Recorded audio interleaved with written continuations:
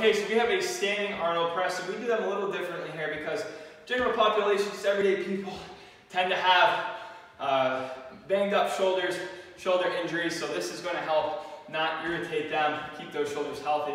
So what we're going to do is we're going to start out here with our hands in front, arms are at 90 degrees.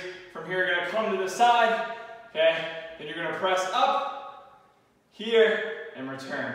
So this is going to engage that back, the rear delts a little bit. And again, like any overhead press, when we're doing this, we want to make sure our glutes are squeezed, thinking about pushing the ribs down to our belt buckle to keep that core tight.